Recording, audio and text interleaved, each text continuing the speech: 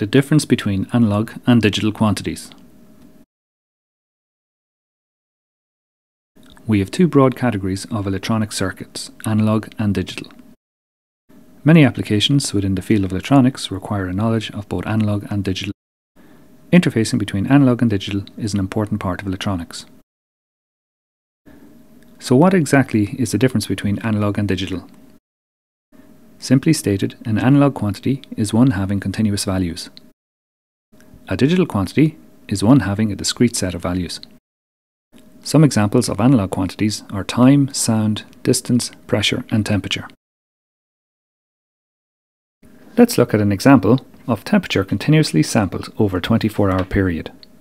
In this case, temperature on a typical summer day. What do you notice?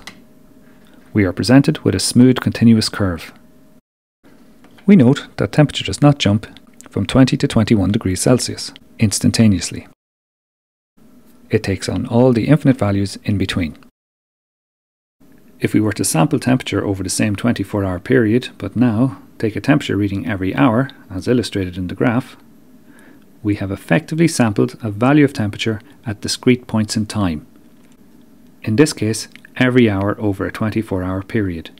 This has converted a continuous analog quantity in this case temperature, to a discrete set of values that can be digitized, whereby each value sampled can be represented by a digital code. For example, 20 degrees Celsius is equal to 10100 in digital binary. So what advantages does digital offer over analog in electronics?